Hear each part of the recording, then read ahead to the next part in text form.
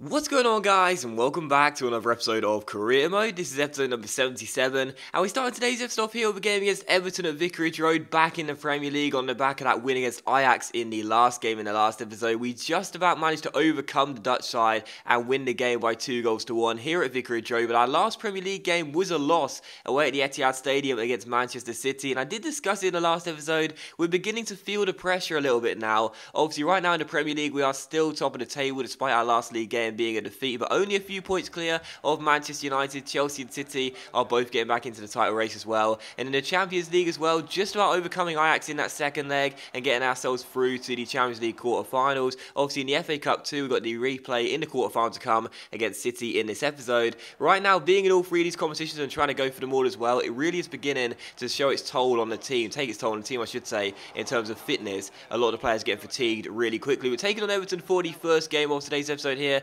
First chance fell early on, but I thought Ryan Tallis should have got a penalty for a shove in the back, but the referee said nothing. Then Balotelli went pretty close there just after the restart in the second half, and then the 84th minute we had a good chance there. Balotelli's bicycle kick was well saved by Joldo, and Everton got the ball away, but it was how the game would finish. This one, probably one of the worst games of the series so far, so sorry about that. It did finish as a goalless draw. Watford nil, Everton nil, and as you can see, Everton in the game had zero shots. We had had two, and it also won a possession battle as well. And it was a game for the defenders, really. Know, both defenses locked it down really well. It was a poor game, though. You know, I'm not going to deny that. It was a really poor game. And unfortunately for us, we could only manage a point in that game. So pretty disappointed about that one because obviously you can't win every game. I know that. But those are the games where you should be winning. You know, you should be targeting and getting the win as well and expecting nothing less than that. Because right now we're top of the table. But our last four games, only one has been a win. You know, obviously that draw against Everton there. The game prior to that was the win against Ajax. And then the games prior to that game against Ajax were the draw against City in the FA Cup. And of course the loss in our last league game away at the Etihad Stadium.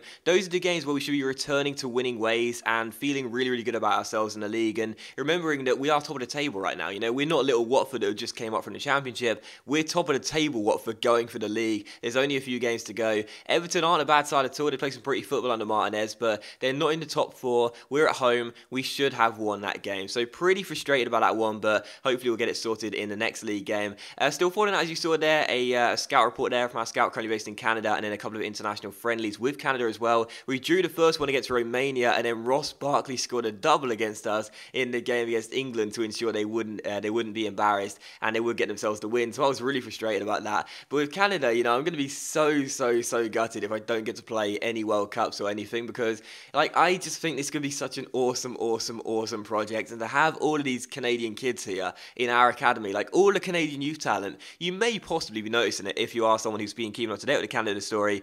Our Canadian youth academy has got better season after season. We've actually got some really decent players in our academy now, and I would love to just manage them in the World Cup. Send out all our 16, 17, 18 year olds. Wouldn't that be really fun? Calling up a load of teenagers for a World Cup tournament, but uh, sadly for us, I don't think it's going to happen. But we'll have to wait and see. We're getting closer towards the end of the season now, and we'll just go and see whether Canada are in the World Cup, which hopefully, touch wood, fingers crossed, they will be. But I guess we'll have to wait and see. Uh, so we take on Manchester City for the second of three games in today's episode here, back in the FA Cup. So game after game, we're in different competitions here, taking on City in the FA Cup quarter-final replay here at Vicarage Road. I said a replay was the last thing we needed, so coming into this game, the last thing I want in this game is to go into extra time and continue to prolong this really, really annoying tie with them. So we're taking on City. First chance fell to them. De Bruyne was denied by a really good save by Jack Butland, and then Joe Hart made a really good save there, and Alaba blocked the follow-up shot and turned it behind for a corner. But we would take the lead here just seven minutes before the break. Bertrand Traore getting on the end of this Ryan Tyler cross, and I've been singing the guy's praises all year long.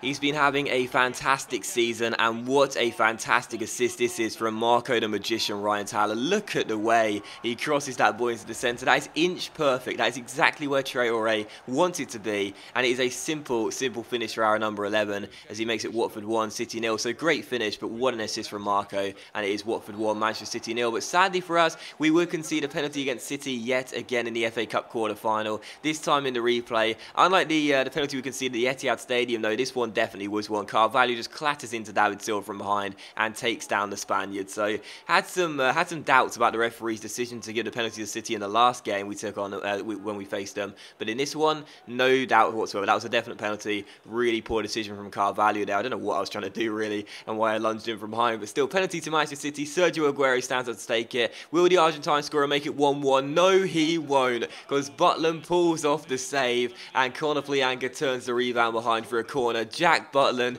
how many times, man? How many times will we be thanking this guy? What a save from Butland from the spot kick, and the Ukrainian turns behind for a corner. So Butland keeps us in front here at Vicarage Road, and it's still Watford 1, Manchester City nil. We had a great chance to double our lead here in the 65th minute. This drill cross comes towards Williams at the far post, but it's a great save by Joe Hart, and Samir Nasri gets the ball away. So still Watford 1, Manchester City nil. And a chance for City late on to equalise here as Otamendi gets on the ball and picks out Raheem Sterling. The former Liverpool man goes for goal, it fires a shot over the bar and behind for a goal kick, and it was how the game would finish. Final score, Watford 1, Manchester City nil. So they took us to a replay, but in the end, we come through with the win. We are through to the FA Cup semi-finals, and our defence of the trophy lives on for another round. So delighted with that. It was a tough game. It was one of those where there weren't too many chances, but the chances that were there were really clear cut. Butland had a really good game between the sticks, including that penalty save as well. So very pleased we got the win there, and we are through to the FA Cup semi-final. So really pleased with that. And you heard me discuss it at the start of the episode, and I discussed it in the last episode as well.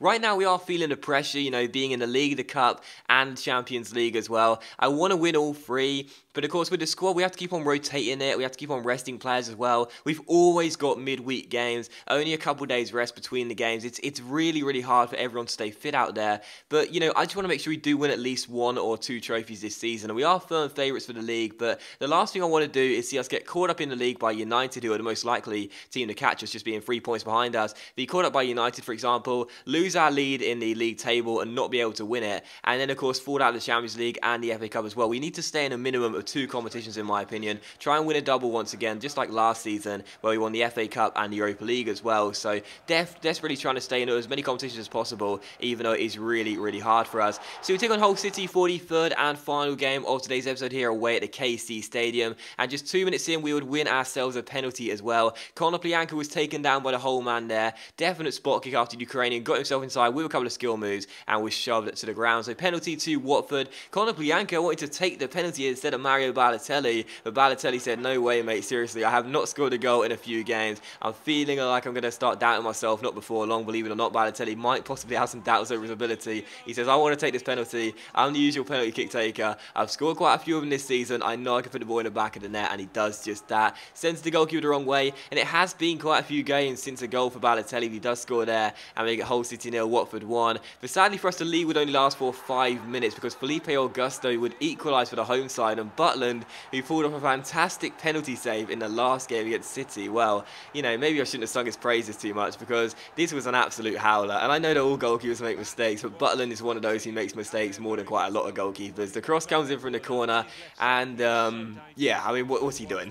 what is he doing? Where is he diving to? I do not know. Felipe Augusto equalises for the home side, and Hull are back on level terms. And in the 20th minute here, a great chance to retake the lead. Balotelli finds Konoplyanka causing Hull some damage early on. He picks out William Carvalho through to Loftus Cheek. He holds the ball up well, Loftus Cheek gives it to Ross Barkley. What a free ball this is to Lloyd Isgrove out wide. Isgrove chips it to the far post, and who's there? It's Konoplyanka. He won the penalty early on in the game. He would have been disappointed to see Balotelli rob the ball off him and take it himself. But Balotelli comes to celebrate with him, the first teammate to do so, because he's glad to see his teammate notch up and get on the score sheet here. And he does make it Hull City 1 and Watford 2. So Konoplyanka gets us back in front in this game. He's had a pretty decent season for us as well. A couple of assists, won a few penalties, and also now four goals in the Premier League as well. So at the break, as you can see here, it was a pretty poor first half, in all honesty. Only those three chances were there to report, and it all resulted in goals. But either way, Hull City 1, Watford 2. We would win ourselves our second penalty of the game, seven minutes after the restart here. Loftus Cheek won the ball back off Andrew Robertson here, took it round the Scottish left back, who had a clattering of knees with Loftus Cheek. Ruben hits the deck, and the referee awards a second penalty. So Balotelli scored the first one. Can he make it two from two from the spot? Is he going to go to the same corner or the opposite one? He goes to the opposite one. He tricks the goalkeeper, and he does score as well to make it Hull City 1, Watford 3. So we get ourselves a two-goal cushion in this game. Balotelli with two penalties, either side of Konoplyanka scoring as well, and it is Hull City 1, Watford 3. So they'll be disappointed to have conceded two penalties in this game, but the fact of the matter is they were both definite penalties, and the referee called it right. So Balotelli makes it Hull City 1, Watford 3. And in the 60th minute here, Balotelli sprints down the left-hand side here, takes it round Claffy Son, gets himself inside the area. The defender goes to ground, and for the third time in the game, the referee awards a penalty. So a third penalty for Watford, a hat-trick of penalties, and can Mario Balotelli get his hat-trick from all three penalties? Balotelli gets the goalkeeper. Where's he going to go this time? He switches it up once again, and again he fools the goalkeeper. Mario Balotelli, too good from penalties. Hull City 1, Watford 4, a hat-trick of penalties, and a hat-trick of scored penalties as well, all through Mario Balotelli, or Mario Penaltelli, we should call him now. So Balotelli notching up again. He's got 18 goals in the Premier League. I swear, at least 7 or 8 have come from penalties, man. It's absolutely crazy. That's his third one of the game. We don't care, though. All the goals count, and it is Hull City 1, Watford 4. We had a great chance to make it 5-1 here in the 88th minute, put the icing on the cherry on the cake, as I would say, and we will do just that as well. Troy Deeney comes off the bench and says, don't forget about me, Docks, man, seriously. I know I'm not first team anymore, I know I'm not the skipper anymore, but I can always score a goal when you need one. We didn't need one, but he scored one, he wanted one. Troy Deeney fakes us around the last defender, curls it in with a weaker left foot, a fantastic finish by the number 9. We won't forget about the guy, he'll always be in the squad, even if he's in the reserves, gets his fifth of the season, and makes it Hull City 1, Watford 5. So 5-1 the final score, what a resounding victory and a great way to return to winning ways in the league as well. Disappointed to draw against Everton, disappointed to lose against City in our last two league games, but this is how you start putting the pressure on the teams that are chasing you behind you in the league. You know, you showed that you're not willing to slip up too many times. A fantastic victory. What a fantastic dominant display. I mean, the critics may sneer at free penalties, but we're the ones laughing with three points. Really good performance. Balotelli with a hat trick. And another three points keeps us top of the table as we only have a few games to go in the league and we are still three points clear with six games to go. It's going to be a very frantic finish to see who wins the title. City on out of it over at 62 points, but either way, for the time being, we're the league leaders and destiny is in our own hands. But that does end the episode, guys, so thank you very much for watching the video. I really hope you have enjoyed it. If you have enjoyed today's episode of Career Mode, then please do leave a like, so it's much appreciated. It really does help my channel out. And I'll see you for the next episode of Career Mode very soon.